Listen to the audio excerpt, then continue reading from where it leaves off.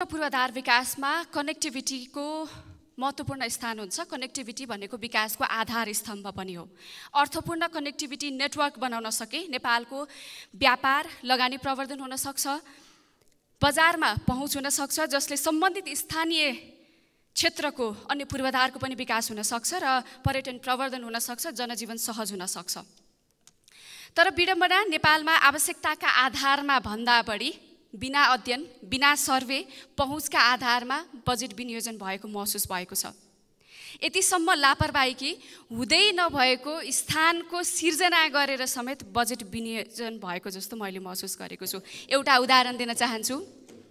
हुनसक्छ यो तत्कालीन समयको स्थान हुनसक्छ यो रातो किताबमा यहाँ यो रातो किताबमा एउटा ठाउँमा लेखिएको छ काठमाडौँ पैँतिस खहरे मुलपानी अन्य अन्य। तत्कालीन समयमा काठमाडौँ पैँतिस थियो होला तर संविधान जारी भएर दुईवटा आवधिक निर्वाचन भइसक्यो। अझै पनि काठमाडौँ पैँतिस कहाँबाट सिर्जना भयो? यो हुँदै नभएको स्थान सिर्जना गरेर बजेट विनियोजन गरेको जस्तो यो कुरा चाहिँ मलाई चित्त बुझेन। हुनसक्छ मैले कता कता न्युजमा पनि सुनेको थिएँ सरकारको तर्फबाट यो प्रिन्ट मिस्टेक भन्ने कुराहरू आएको छ।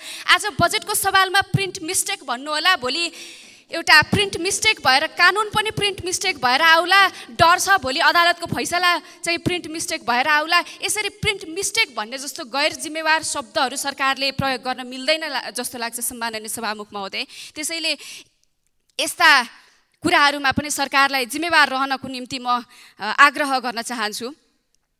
अब जथाभावी डाँडा ताछेर बाटो बनाउने चलनको बारेमा त हामीले अघिदेखि व्यापक रूपमा चर्चा गरि नै रहेको छौँ। जथाभावी यो डाँडा ताछ्ने प्रवृत्तिले गर्दा नेपालको प्राकृतिक सुन्दरता यति कुरूप हुँदै गइरहेको छ कि त्यो तपाईँ हामी सबैले देख्न सक्छौँ। जता हेऱ्यो अझ विशेष गरी हामी प्लेनबाट कतै जाँदाखेरि त्यो एरियल भ्यू देखिन्छ। त्यो एरियल भ्यू देख्दाखेरि सबै डाँडाहरू ताछेको देख्दा जता पनि भत्किएको भुक्षय भएको देख्दाखेरि कति मन दुखेर आउँछ त्यो तपाईँ हामी सबैले महसुस गरेको कुरा हो।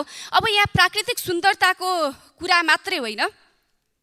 जथाभावी बाटो खन्नाले गर्दाखेरि नेपालको यो अव्यवस्थित सडक निर्माणले गर्दाखेरि यो प्रवृत्तिले नेपाली जनतालाई बिरामी पनि बनाएको छ। अब बिरामी कसरी बनाएको छ भन्नुहुन्छ भनेदेखि पानी पर्यो सडक हिलो हुन्छ।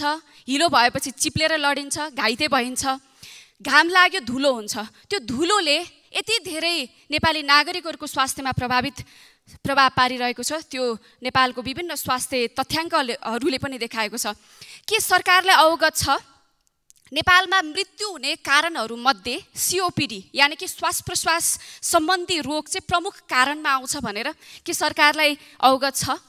यो सरकारले कस्तो नीति लिएको हो? नागरिकहरूलाई सधैँ बिरामी पारिरहने ती बिरामी भएका नागरिकहरूको लागि सरकारले के नीति लिएको छ? सडक को व्यवस्थित निर्माण नगर्नाले त्यो फोक्सोमा बिरामी परेका मान्छेहरू दमको बिरामी भएका मान्छेहरूलाई जति अप्ठ्यारो परेको छ तिनीहरूको जिम्मेवारी कसले लिने? यसको जवाब पनि म मन्त्रीबाट चाहन्छु सम्बन्धित मन्त्रीज्यूबाट चाहन्छु।